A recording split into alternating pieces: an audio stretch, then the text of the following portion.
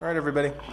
So, what I wanted to do today was to give you guys a quick review of um, the new barbell that I acquired recently. As everyone knows, that I'm a big fan of Rogue.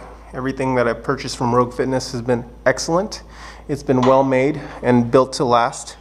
Um, survive a bomb, survive wars, sur- survive Armageddon.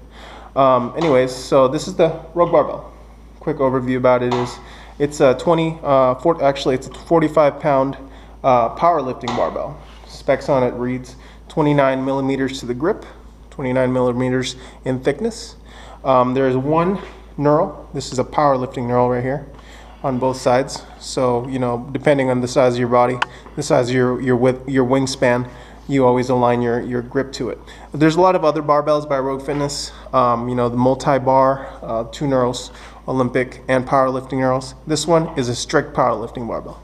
Um, don't use it for anything but. You could use it for deadlifts, sumo deadlifts, bench, floor press, squat, back squat, high bar squat, uh, front squat. But don't be doing it any, uh, don't do the bar any injustice by doing anything else. Get a bar specifically for Olympic weightlifting or for CrossFit if you would like to do those.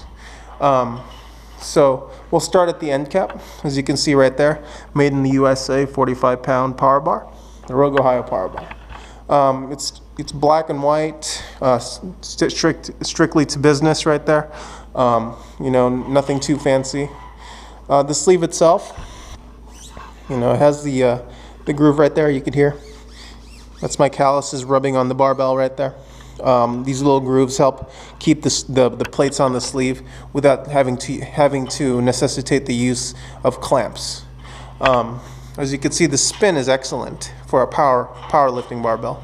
There's a the the uh, the bushings. It's actually a bushing bar. It has a bronze bushings by Rogue. Um, I've had uh, the Rogue barbell 1.0 before. It's an excellent spin. It actually does well for uh, for WODs and Olympic weightlifting, but not the best. It does well enough. So if you're you know if you're stuck with one bar, this wouldn't be a bad choice either. If you want to do everything with it. Um, the the reason I want I bought this barbell uh, because over the uh, Texas Power Bar is because you know not a lot of people have it. I understand a lot of people have the Texas Power Bar. They love it. They live by it. They swear by it. A lot of big names. Um, I wanted to give this barbell a try. I wanted to give something that was out there that not a lot of people had. But I'm pretty sure a lot of people will eventually get this barbell, um, just for the fact that it's you know basically amazing. Um, the knurl, as you can see right here, it's a cheese grater. It is very deep. It's very sharp.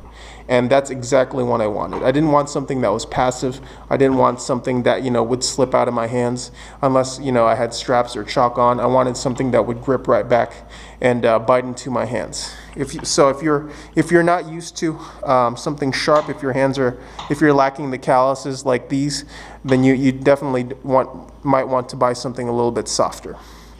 As you can see, the the the, um, the finish that I decided to purchase is the um, it's it's the bare steel bare steel bar.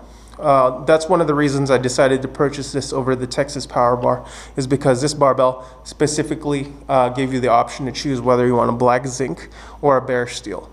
Um, I can tell you right now that the bare steel barbell, the feel of it, the grip of it, it's unmatched. It is excellent. It feels really, really good in my hands, and I like it's it's just feels so much more badass to me. I know in the future this is definitely going to require a lot more upkeep.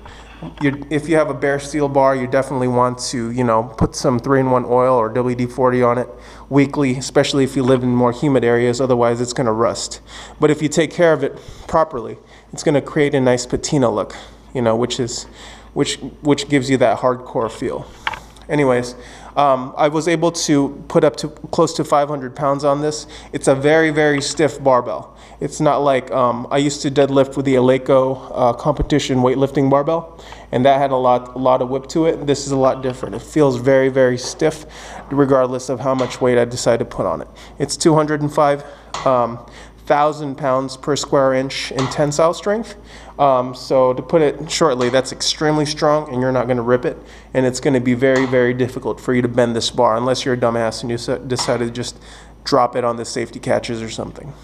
Anyways, the bar, the value, it's uh, it was two hundred and fifty dollars. Uh, face value, but uh, to shipped to uh, California, it cost me $283. Um, I, I believe that is unbeatable for the bar that you get. It's a no-brainer. This is an excellent barbell from an ex- excellent company. Um, give it a shot. Um, definitely would buy this for twice as much as I spent on it. Thank you guys for watching. Peace out, and uh, I'll see you guys later. Thanks.